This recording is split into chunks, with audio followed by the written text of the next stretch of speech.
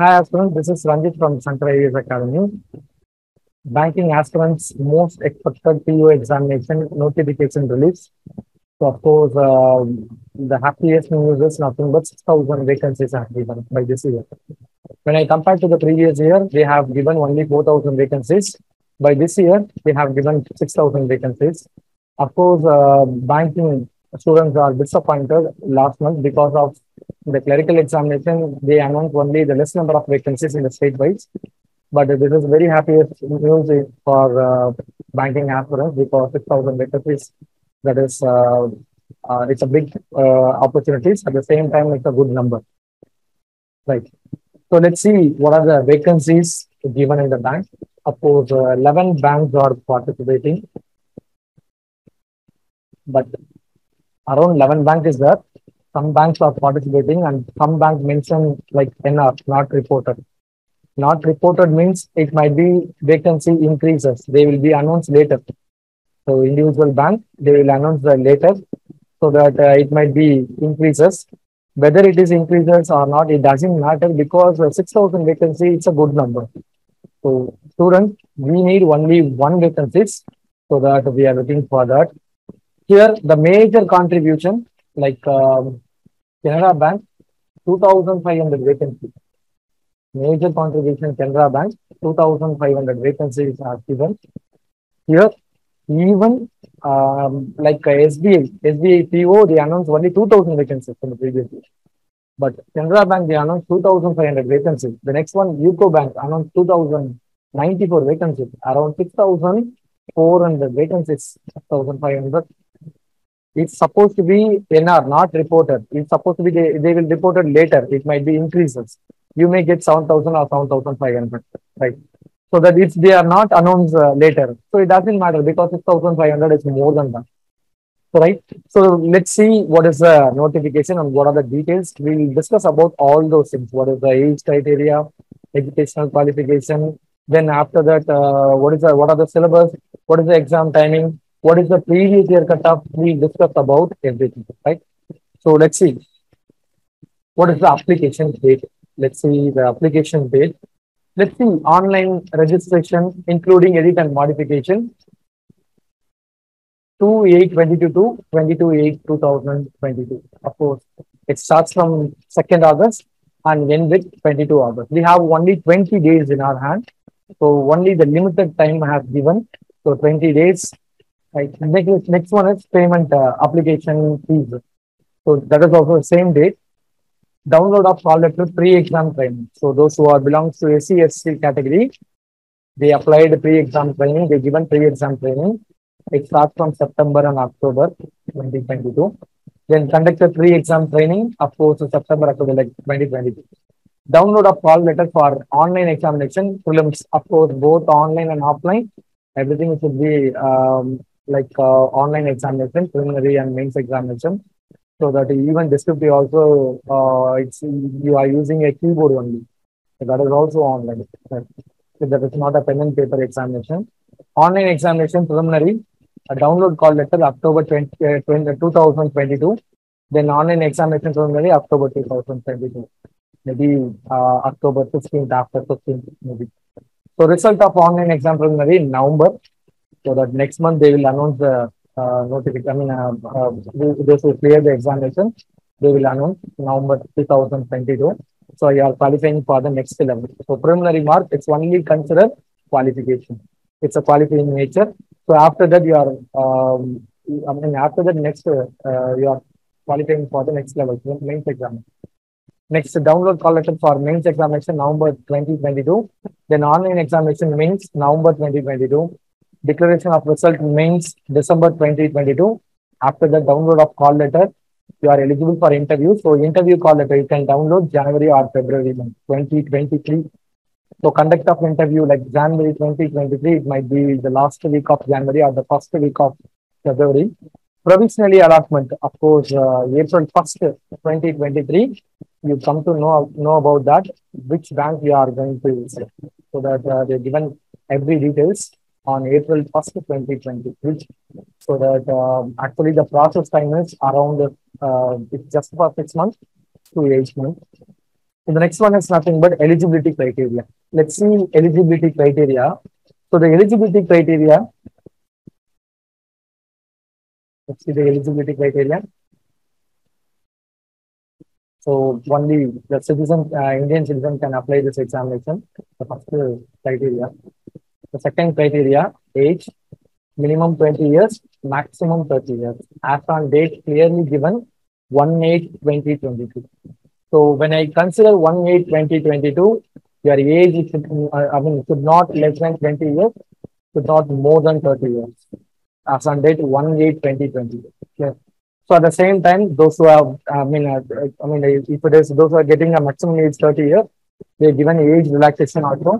Like uh, SC, SC, five years of age relaxation, OBC, three years of age relaxation. Next, quali- I mean, qualification. Next qualification, educational qualification. Of course, any degree in any discipline from a university recognized by the government of India. Of course, uh, they're expecting any degree, any stream, whatever it is. Uh, at the same time, they, they never mention like a percentage, like 60 percentage, 55 percent. It is not required. So if you are uh, graduate, you can apply this examination. So specifically, which is not mentioned 65 degree, 65 percentage, like 55 percentage.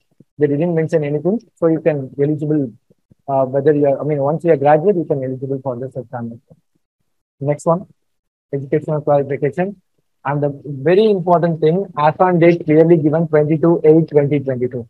Before 22 8 2022, yeah, you are getting a result. If you are get a, if you are getting a result before 22 8 2022, so you are eligible for the examination. If you are right final semester, but you are not, not getting a result means you are not eligible for this examination.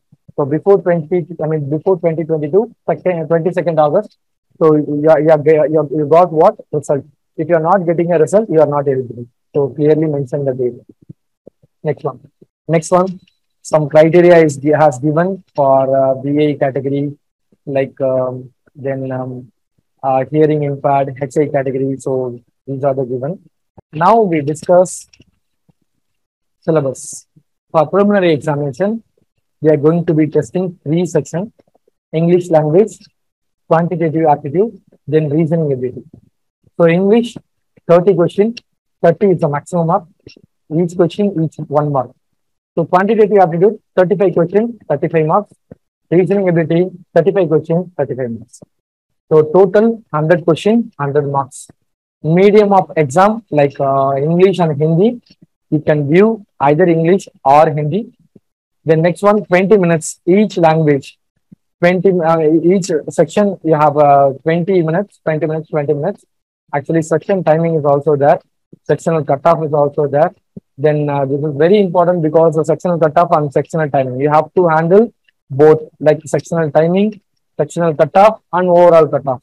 So these are the very important. Each section you have 20 minutes of time. So there is no composite time has given. So each section clearly mentioned 20 minutes 20 minutes 20 minutes right? So last year, previous year cutoff. Actually, previous year, 50.5 is the maximum cutoff. So here the cutoff has taken for the general category because the, there is a maximum mark, right? So here I mentioned the maximum mark 50.5 cutoff. So 50.5 is the maximum cutoff for prelims out of 100. Out of 100. And you have a penalty mark. If one question is wrong, 0.25 is the penalty mark. One fourth is the penalty mark, right? so that you have to handle uh, all the situation, even one hour, 20 seconds, sectional cutoff, sectional timing, overall cutoff, and you have control the negative marks, negative questions. So don't attend the negative marks because it is not preferable. So whatever you, are, you, you come to know about the right answer, so that is the first preferable, right? So that you can attend uh, and I mean uh, exact answer. So otherwise you just leave it. If you're not getting the questions, just leave it, right? So that um, 50.5 out of 100 is the minimum cutoff when I compare to the previous year, 2020. The next one, so those who are eligible for preliminary examination, if uh, if you are getting more than that, I mean, if you are clear the sectional cutoff and the overall cutoff, uh, you are qualifying for the second level, like mains examination. In that mains examination, reasoning and computer aptitude, 45 questions, 60 marks. So the 60 minutes has given.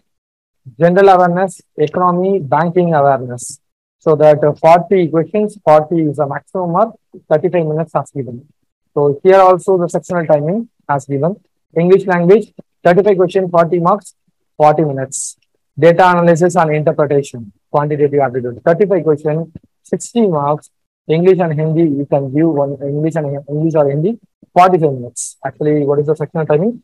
45 minutes. So here also there is no composite time. So sectional time has given total time three hours. Even movie, it has only two and a half hours, right? But here, three hours time as well as along with that, you can write descriptive paper. So descriptive paper, English language, letter writing, essay writing. So two questions, 25 marks. So all, everything should be included. So 225 marks. Total 225 marks. In the previous year, 225 marks. If you are getting 80, uh, this is also the maximum mark I consider from the uh, like oh, general category. So those who are getting 80 marks, they, they have cleared the cutoff, minimum cutoff. Actually, if you are getting more than 20, definitely you will be get a job. Definitely you will be getting a job, right? So that uh, whenever the cutoff is as given, so your score will become more than the cutoff. So 80 is if 80 has given, you will be secure more than 20 or 25 plus. If you are getting uh, whatever the cutoff, they are going to set the cutoff. Uh, if you are getting like more than 20 or 25 plus, definitely you will be getting the job. Definitely you will be get the job. All right. So the, here the section, section, reason, ones. Then uh, why we have why they are given uh, 80 is a cutoff means the paper also was very difficult. Uh, in the last year, previous year question paper, of course, it was a very difficult. So how we are going to handle this situation? It's supposed to be the question paper as difficult.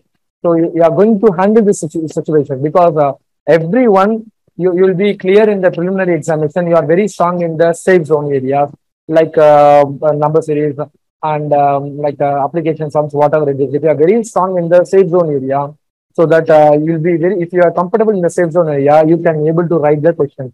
Right? You can you can able to write the you can able to write uh, question with the answers. So at the same time, uh, at the same time, uh, here uh, 80 is the minimum cutoff, right?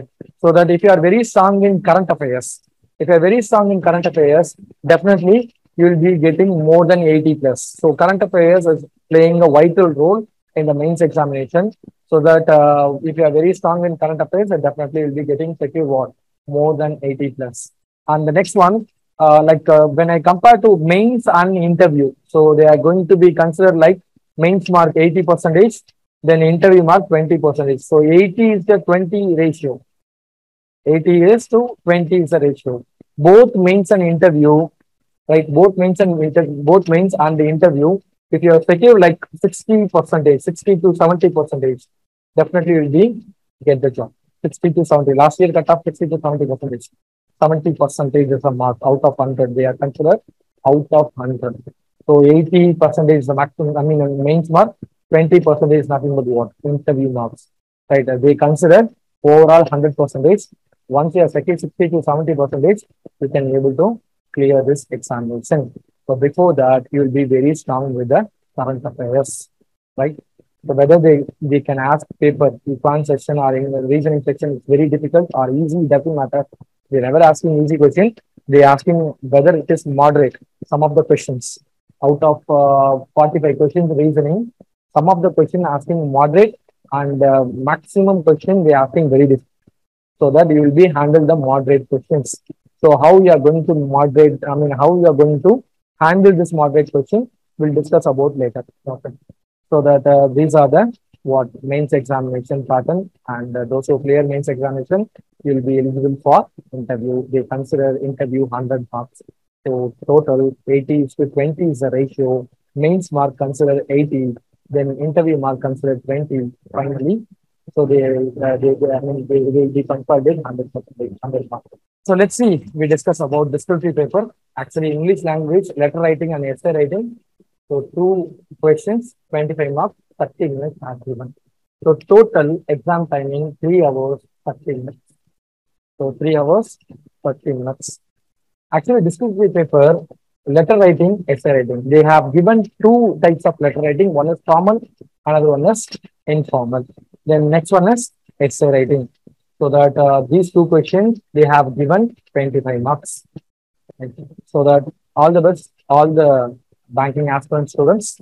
So that uh, we'll discuss about how to uh, manage the time for the preliminary examination and how to manage the time for mains examination. So we'll discuss about later on. Thank you.